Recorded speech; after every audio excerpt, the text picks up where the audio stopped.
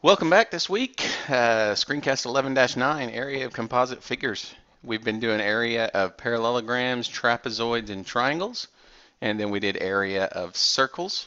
And now composite figures are going to be putting those two figures together.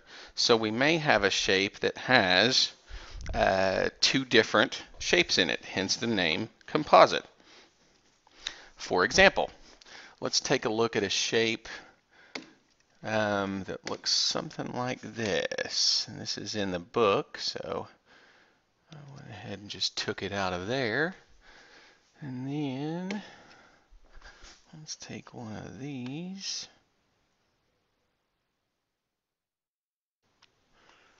And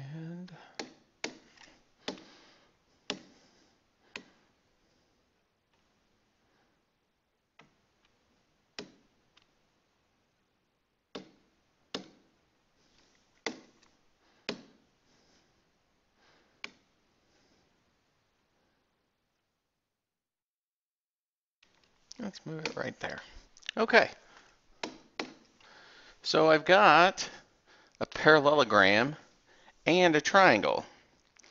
And so here's the information it gives me.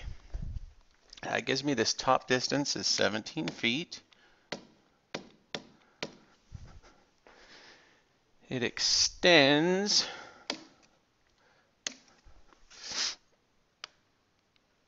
out this way. Okay, extends out this way. Nope, I don't want it to go that far. I don't like that drawing. There we go. Extends out that way.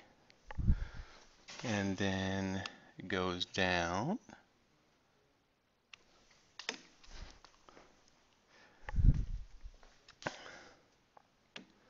Then it extends across and then goes up. Okay, so it tells me that this is nine feet. So that's going to be the height of my parallelogram.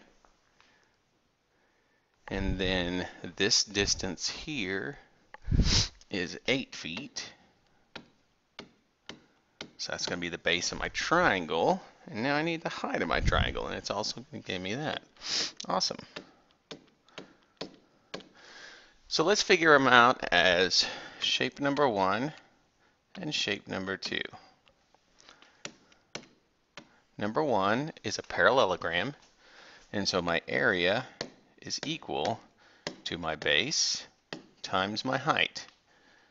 So in this case, my base is going to be 17 so area equals 17 times my height, which is going to be 9. And so that gives me 153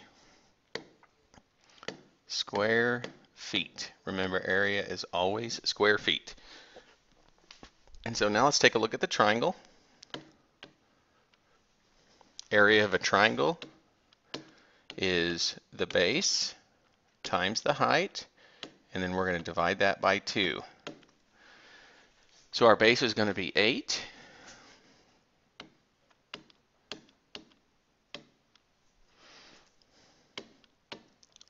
Our height is going to be 10. We'll divide that by 2.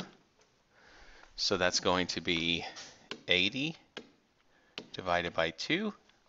So that gives me a total of 40 square feet on that triangle. And so now that I know the square footage of the parallelogram and the square footage of the triangle, I simply add them together.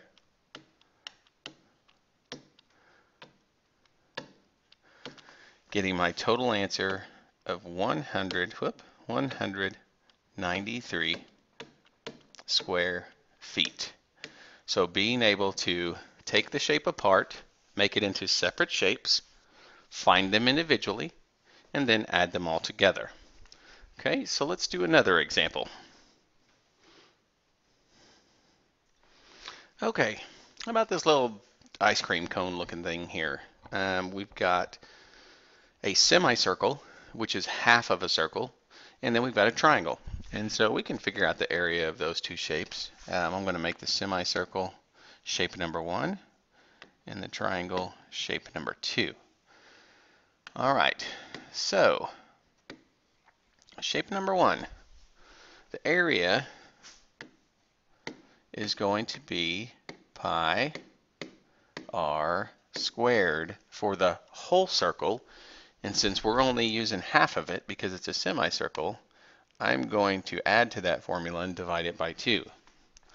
So that's going to give me area equals 3.14 times, now 6 foot is a diameter, so that means that our radius is 3.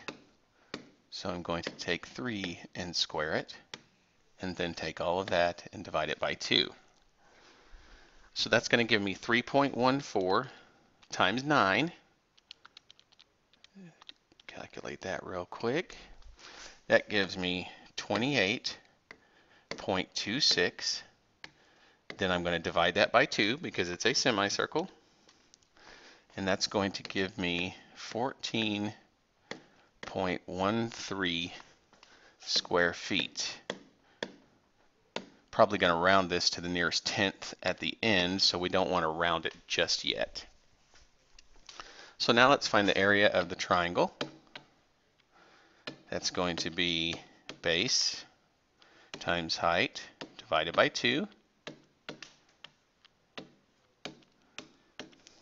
So that's going to give me 6 times 16 divided by 2. Let me get that real quick. Going to be 96 divided by 2, which is going to be 48 square feet. Okay. So now I need a total. I have 14.13 square feet and I have 48 square feet. To go ahead and put 0.00 there to line those up. So that gives me 62.13 square feet. I'm going to round this to the nearest tenth. So that's going to give me 62.1 square feet. Okay, so that's my composite figure. Actually, this was example number 1A out of the book. They used millimeters, I used feet, so the, the conversion is a little bit different, but it's the same number, 62.1 square feet. All right, so a little over eight minutes, and uh, we're all done with that one. We'll see you in class tomorrow.